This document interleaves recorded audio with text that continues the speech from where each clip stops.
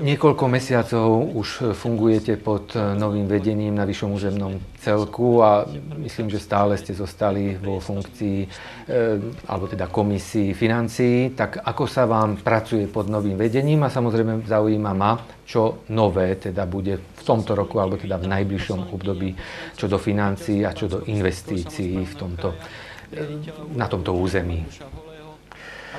No, mm, je o mne známe, že aj v minulosti som sa kriticky vyjadroval na niektoré veci, ktoré a, a, neboli, neboli úplne v, v poriadku a ani s tým, ako by sa malo veľmi úsporne nakladať, alebo teda obozretne s verejnými výdavkami, tak e, bol som tým známy e, a aj, aj, aj ďalej, ďalej budem robiť to, aby peniaze všetkých týchto obyvateľov, aj obyvateľov okresu Žarnovica boli vynakladané tak, ako si myslím ja a, a aby boli veľmi efektívne používané. No, nie som celkom presvedčený, že, že tento štart e, novej garnitúry, ktorá tam je, je, je podľa mojich predstav. Ja stále hovorím, že, že my tu na Žarnovici máme, máme tak tvrdé nejaké kritéria na to, aby sa použili veľmi zmysluplne peniaze, lebo my ich až tak veľa nemáme a cez to všetko my e, robíme ďaleko viacej investícií aj do oprav, ciest dávame, ako napríklad dáva aj samozprávny kraj. Keď pre, keby ste prerátali počty kilometrov ciest mesta Žarnovica a samozprávneho kraja, ktoré má vo svojej správe, tak by, ste, tak by ste zistili jednoduchým pomerom, že my dávame raz toľko mesto Žarnovica do ciest, do oprav a údržby, aj opravy, ja neviem, okolitých nejakých e, odvodňovacích rigolov a tak ďalej, čo s cestami súvisí ako samozprávny kraj. Preto ja hovorím, že je veľmi dôležité, aby tí, ktorí môžu navrhovať a rozhodovať o tých peniazoch, aby pripravili dobré riešenia. Čo tým chcem povedať? Konkrétny príklad, keď ste sa pýtali, že ako to vyzerá. Prebytok z hospodárenia z minulého roku bolo 9 miliónov a z tohto rezervného fondu sa mali e, navrhnúť e, výdavky do tohto ročného rozpočtu, ktoré by sa mali niekde prioritne robiť e,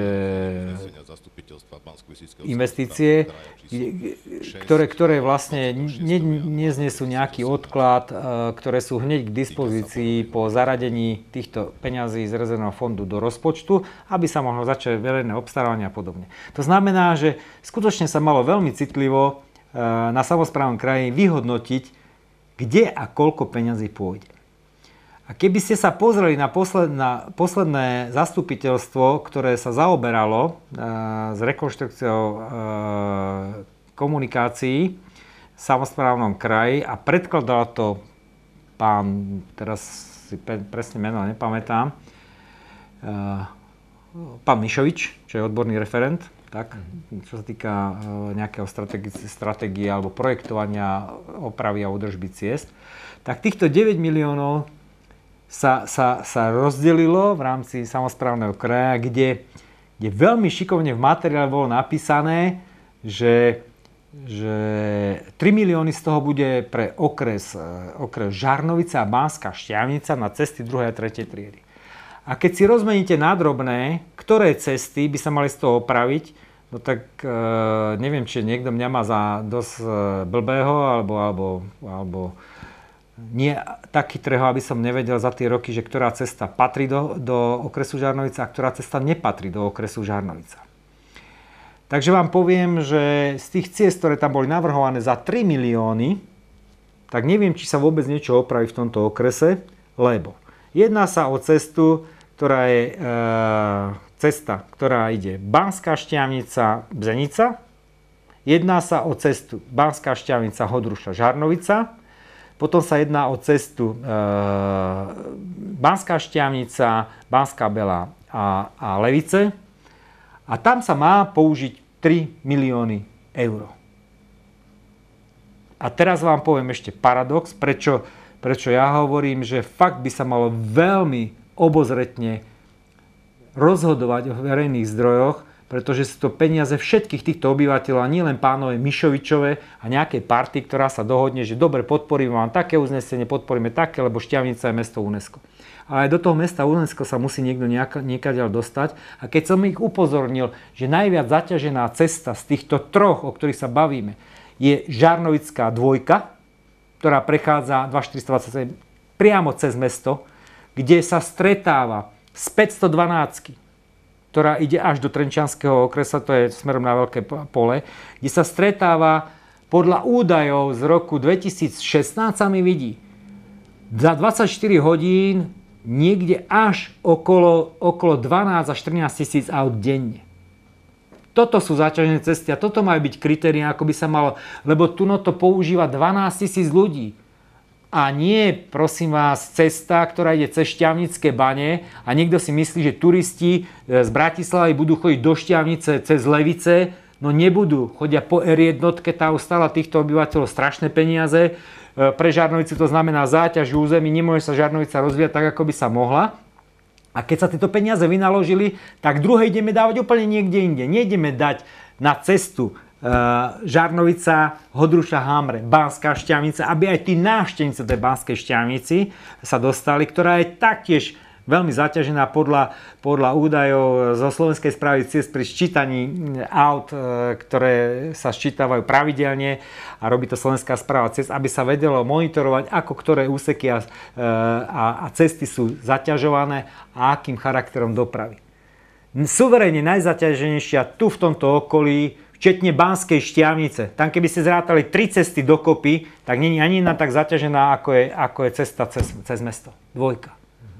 No a Takže, argumentovali ste? A argumentoval vám... som, argumentoval som a hneď som toto napadol, lebo oni dokonca tam napísali, že, že cesta 2512, e, čo ide na veľké pole, teda, hej, e, tak tá vlastne to je cesta až po hranice Nitrianského kraja, no to je Trenčianský kraj, takže až e, projektový manažer na Vúcka nevie, kde aká cesta ide, tak ako ten človek môže pripraviť návrh na uznesenie také, aby bolo fakt e, priateľné pre všetky. Ja keď som to čítal, toto, ako sa má prerozdeliť 9 miliónov, tak som mal pocit, že tí ľudia vôbec nepoznajú hodnotu tých peňazí a, a je to maximálna nezodpovednosť, že takto nakladá niekto s verejnými zdrojmi. Maximálna nezodpovednosť.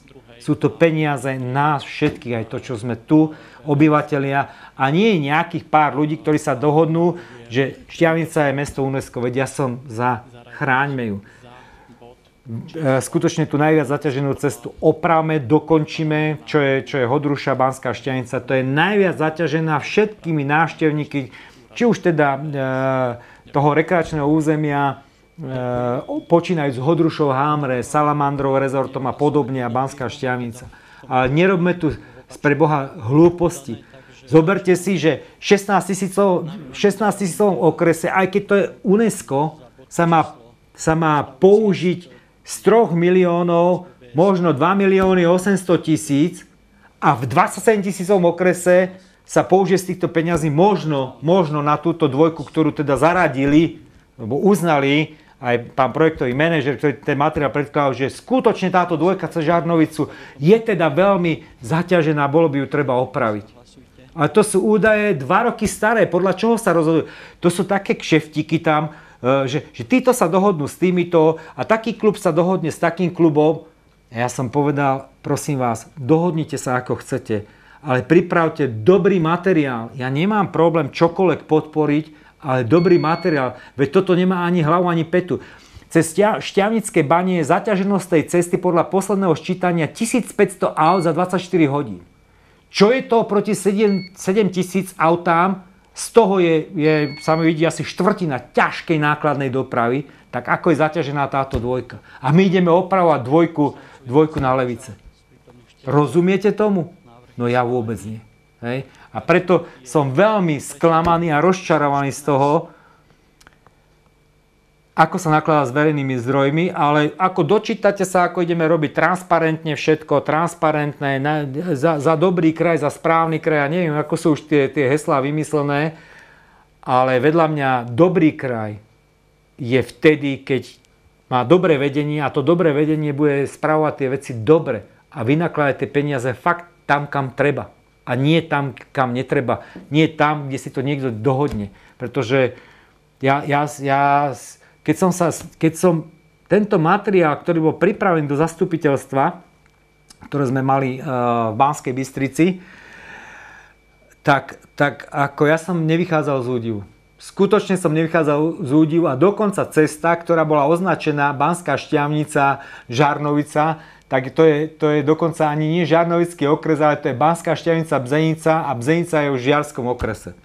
Takže viete, čo si máte pomyslieť o ľuďoch, ktorí pripravia takýto materiál, takto zmetočný do zastupiteľstva, kde som interpeloval ešte aj pána predsedu, aby nepodpísal uznesenie, ktoré je nevykonateľné, respektíve ktoré je nevy, nehospodárne, pretože tam boli označené cesty, ktoré ani neexistujú, pretože taká cesta, ako, ako označili tu e, po hranice Nitrianského kraja, tak taká cesta neexistuje, existuje cesta po hranice e, Trenčianského kraja, takže to uznesenie je veľmi ťažko vykonateľné, keď, keď budete trvať presne na tej dikcii. Bolo mi na tej, na, na tej dikcii toho, toho uznesenia. Bolo mi odpísané v interpelácii, že to sa myslelo všeobecne, že cesty, ktoré sú dvojky, trojky v správe bansko kraja, no tak všeobecne sa môžeme hovoriť o tom, že všetci sme blbci, keď takto rozhodujeme, alebo len niektorí, neviem. To je tiež ako všeobecne. Hovorím, že toto, toto a skutočne nie je niečo, čo, čo, s čím ja budem súhlasiť. A preto som navrhoval pozmeňujúce uznesenie, ja si vážim. Nech teda v tej Banskej šťavnici sa opraví za 2 milióny, ale navrhoval som uznesenie doplniť, že v okrese Žarnovica z týchto ciest, ktoré boli navrhované, nech sa opravia cesty za milión z tej rezervy, teda 2 milióny, nech teda ide do tej šťavnici, keď je mesto UNESCO ale v Žarnovskom okrese nech sa opravia za, za milión cesty z tejto rezervy a podľa toho, ako ich eviduje regionálna správa cez akciová spoločnosť, lebo naša akciová spoločnosť e, samozprávneho kraja, čo je e, Bansko-Bystrická regionálna správa cez AS, to je spoločnosť samozprávneho kraja a tá spravuje tieto veci. A oni presne vedia, ako sú zaťažené cesty. Oni navrhujú úplne iné úseky. A niekto vám navrhne v zastupiteľstve niečo iné. Veď keby ste sa opýtali tých správcov tých jednotlivých úsekov ciest a regionálnych stredísk, oni presne vedia, kde najviac musia opravovať niečo, kde najviac je niečo poškodené, ktorý most je poškodený. A my takto rozdelíme 9 miliónov aj tam, kde to netreba. A tam, kde to treba, tak toto, toto je pre mňa vec nepriateľná a mne to je jedno, nech tam sedí aj neviem aké vedenie eh, a neviem s kým, ale jednoducho musím to povedať, že toto je vec, s ktorou sa ja nemôžem stotožniť. Sedím vo finančnej komisii a ja si peniaze všetkých obyvateľov vážim tak ako svoje vlastné a jednoducho budem s nimi veľmi, veľmi hospodárne nakladať. Keby tí páni mali rozhodovať o svojich peniazoch takýmto spôsobom, tak za chvíľu budú s nich bezdomovci.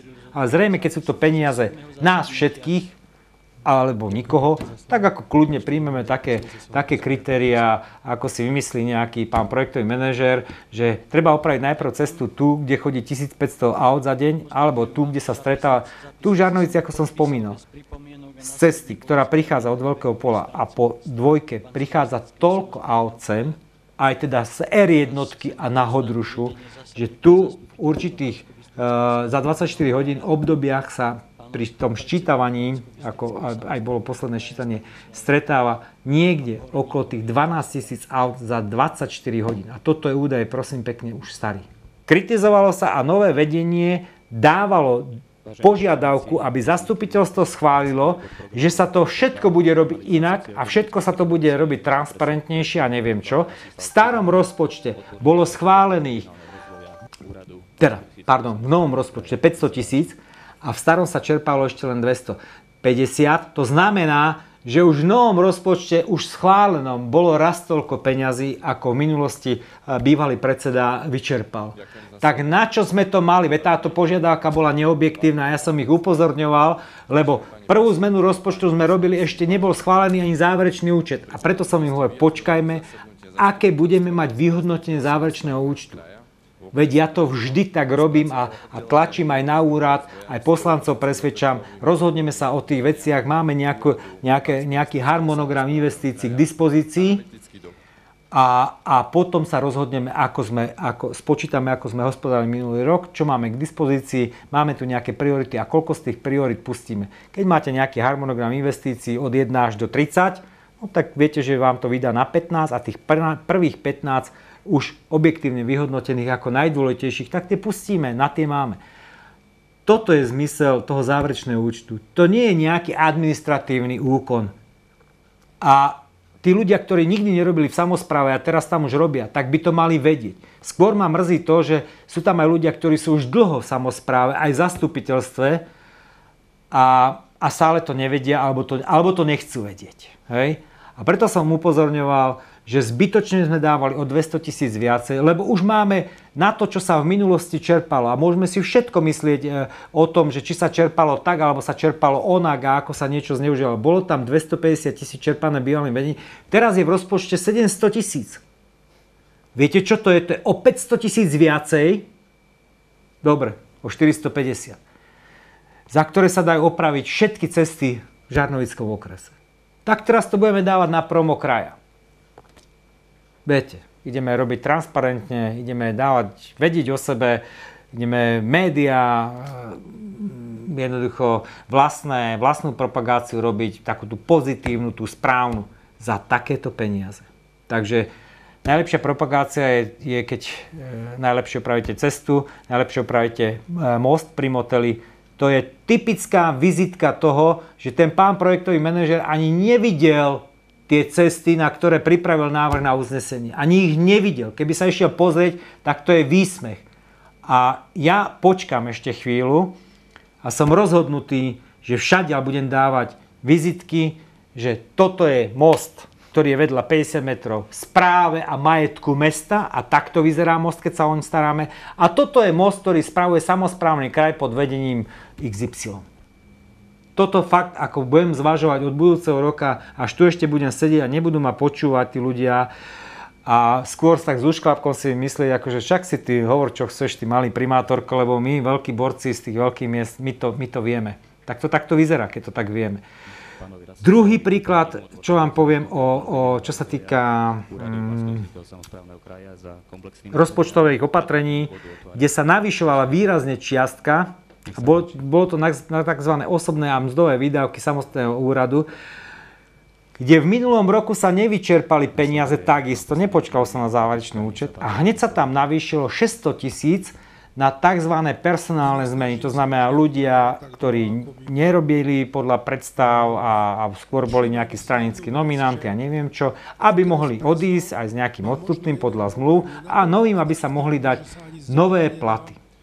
A teraz vám poviem, že na záverečnom účte vyšlo, že sa tam nevyčerpali peniaze už pri predchádzajúcom nastavenom rozpočte oproti tomu, aký bol rozpočet v minulosti, aký sa schválil na tento rok, že už tam bolo nedočerpanie zhruba o 500 tisíc. My sme navýšili znovu 600 tisíc.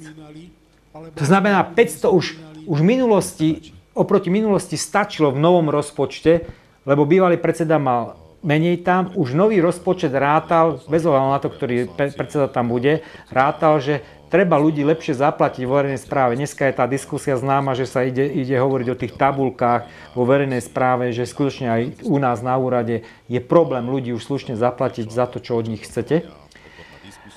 A preto sa zvýšil ten, ten rozpočet na tie osobné výdavky už o takúto sumu. Nové vedenie prišlo, že chce na tie mzdové výdavky, ktoré bude nevyhnutné pri odstupnom a novým ľuďom dá, tak prišlo sa o 600 tisíc. Takže celkové tam je vyššia čiastka v tejto kapitole je celkové o milión eur. Necelých. Tie čísla nepamätám si. Tak preto vám hovorím, že tam sme išli niekto, niekde s nejakými 200 tisícami, ktoré vôbec nebolo treba. Tu sme zase išli s nejakým rozpočtovým opatrením, ktoré som presvedčený, že nebolo treba. A časom, keby sa ukázalo, ja som povedal, nevidím problém. časom, keď sa ukáže, že treba tieto veci riešiť, kedykoľvek príjmeme takéto rozpočtové opatrenie, nech pán predseda povie, potrebujem dorozpočtovať, ja neviem, na základe odstupného, neviem čoho, e, čo tu robíme, do rozpočta 150 tisíc, pretože takéto, máme tam nejaké zmluvné záväzky pri, pri plnení, ja neviem, pri odchode nejakých zamestnancov. Žiaden problém. Ale my sme to nevedeli a my sme už hneď blok odhlasovali takéto zmeny v rozpočte. Ja som presvedčený, o, my, o 900 tisícoch, ktoré boli úplne zbytočne, úplne zbytočne navázané v prvých rozpočtových opatreniach. Som to kritizoval na finančnej komisii, e, našiel som tam ľudí, ktorí ma podporili, ktorí povedali, áno, má to logiku, čo som hovoril, ja sa tomu nebránim, až to bude treba. Ale my sme toto schválili a ešte sme ani nevedeli, či to treba. A pritom ale vieme, že treba opravovať tie cesty a, a, vieme, čo treba robiť. Ale my robíme kroky, ktoré ešte ani nevieme. Toto bola ďalšia vec. A, po, a poslednú skúsenosť, ktorú som mal, ktorú som kritizoval a aj skutočne som to nepodporil, sme, e, teda samozprávny kraj, založil e, neziskovú organizáciu, s ktorou ja nikdy nemôžem súhlasiť, to je Krajská rozvojová agentúra. A tá má vo svojom štatúte, že bude vlastne robiť všetko to, čo má robiť e, úrad. Zo zákona, čo má robiť úrad.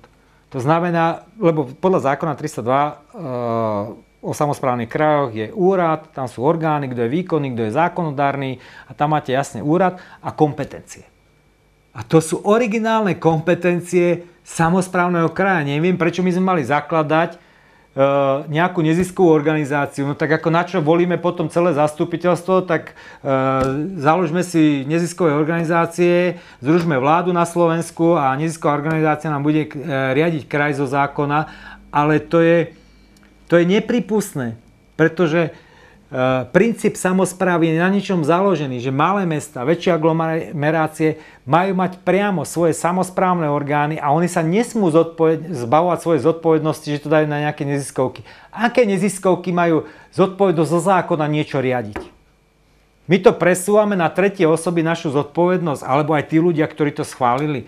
Veď toto je deštrukcia samozprávneho systému. Až to nikto nepochopil z tých nových ľudí, nadšených, neviem, bez skúsenosti akýkoľvek samozpráve, len na tom, že sa dohodnú a nechcú počúvať nejakého uh, primátoríka, tak, tak nech aspoň sa zamyslia nad tým, o čom je samozpráva. A je presne o tomto. Je o tom, čo má jasne stanovené. My sa nemôžeme zbavať. Tak na čo sme potom kandidovali? No, o čo im ide vlastne? Oni potom chcú uvoľniť miesta na úrade bansko bystrického keďže budú vykonávať tú výkonu? Dokonca takto to bolo prezentované, že, že, že tam budú sami špičkoví zamestnanci a neviem čo, budú nám zabezpečovať koncepcie rozvoja, e, opravy a údržby ciest. Hej. No, Čiže ale, originálna kompetencia. No ale zrušia na BBSK potom nejaké kancelárie To som sa nedozvedel, to som sa nedozvedel. Ale veď, veď by to bolo aj proti zákonu. Veď napríklad e, zodpovednosť za, za rozvoj a územný rozvoj kraja má samozprávny kraj, nie nezisková organizácia. Veď toto je celé na vode. A my sme na to uvoľnili, teda ja nie. Tí ľudia, ktorí pomaly, e, tak ako sa smiešne na mňa dívali, 1,7 milióna eur. Dobre ma počujete. Keď som povedal o tých prvých rozpočtových opatreniach, prvom, druhom a neviem o, o, o tom uh, navyšovaní, keď som hovoril niekde o 900 tisícoch, teraz som presvedčený, že 1,7 milióna tam nemá čo robiť na neziskovke. Súhlasím, že tento kraj má potenciál v rozvoji cestovného ruchu. To súhlasím. Doteraz to nikto nezastrešoval a vítam takúto iniciatívu. To som povedal ale to by mala byť organizácia, ktorá sa zaoberá rozvojom cestovného ruchu. A to je podsegment toho, čo má robiť, čo je regionálny rozvoj. Regionálny rozvoj to je jednoducho najdôležitejšia vec, ktorú má v kompetencii samozprávny kraj. Najdôležitejšia podľa regionálneho rozvoja. Musíte zabezpečovať kvalifikovanú pracovnú silu, aby sa mohli etablovať firmy, aby tu bola tvorba HDP to znamená, že tam máme kompetenciu na stredných školách. Dvojky, trojky ciest, to je obslužnosť celého územia. Prímeská doprava, aby tí ľudia mohli dochádzať za zamestnaním, za vzdelaním a tak ďalej. Veď toto sú základné princípy rozvoja kraja. Územný plán kraja. My dnes nemáme odbornú spôsobilú osobu, aspoň o tom no neviem, kto má odbornú spôsobilosť na, na územné plánovanie. Mala to naposledy pani inžinierka Bímová, ktorú roky poznám a, a bola odborníčka na svojom mieste. no dnes už nerobí na samozprávnom kraji, tak neviem, či to ideme robiť cez nejakú neziskovú organizáciu, asi áno. Preto hovorím, že toto bol ďalší, ďalší z môjho pohľadu nepochopiteľný krok pre zmenu tohto, tá, pre prijatie takéhoto uznesenia, kde ideme založiť takúto organizáciu. Ja som sa aj tej pani pýtal, ktorá prišla s týmto projektom, ktorá bola predstavená aj na finančnej komisii ako nositeľka tohto projektu, že či v skutočnosti má skúsenosti z regionálneho rozvoja alebo z cestovného ruchu. Tak, tak ako z cestovného ruchu, pretože už pôsobila v takých a regionálny rozvoj úplne iná kapitola. Takže Toľko moja skúsenosť. Dúfam, dúfam, že tento prvý kostrbatý rok sa, sa bude nejakým, nejakým obdobím aj seba reflexie tých ľudí, o ktorých hovorí, ktorým som hovoril, že toto nie sú podľa mňa najlepšie a na, najefektívnejšie vynaložené peniaze, ale dúfam, uvidíme, ako to pôjde ďalej, pretože príde čas, keď bude treba zložiť nejaký, nejaký účet a, a nie, som, nie som o tom presvedčený, že, že tí ľudia to budú príjmať nejak s pochopením. Jediné, jediné rozpočtové opatrenie, ktoré si myslím, že bolo zmysluplné, je to, kde sa schválilo po navýšenie základných platov e, pra, ľuďom, ktorí pracujú v zariadeniach, kde je zriadovateľ samozprávny kraj kde sú skutočne už, už ich tabulky pod minimálnou mzdou. To znamená, že tí ľudia, ktorí pracujú niekde v sociálnych zariadeniach, rôznych domoch a podobne, takže tam, tam ako ja som súhlasil, že bez problémov tento návrh podporím, pretože ten návrh, aj keď zase je tak v takej podobe, že, že je to, je to e, návrh e, smernice o odmeňovaní zamestnancov zariadení. Odmeňovanie je niečo iné.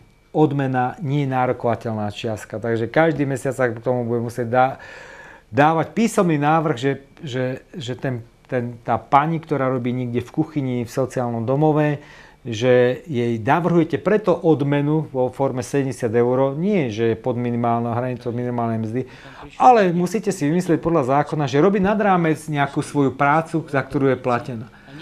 Preto hovorím, že zase je to nekvalifikovaný, neodborný návrh, ale cez to všetko som ho podporil, aj keď som povedal uh, v diskusii, že, že po formálnej stránke je to strašne kostrbatý a nemyslím si, že najlepší spôsob, uh, ako tým ľuďom pridať tie peniaze, lebo to, to si budú musieť tí ľudia navrhovať vedúci, podriadeným. Vždy odmenu musíte zdôvodniť. To musí byť písomný návrh.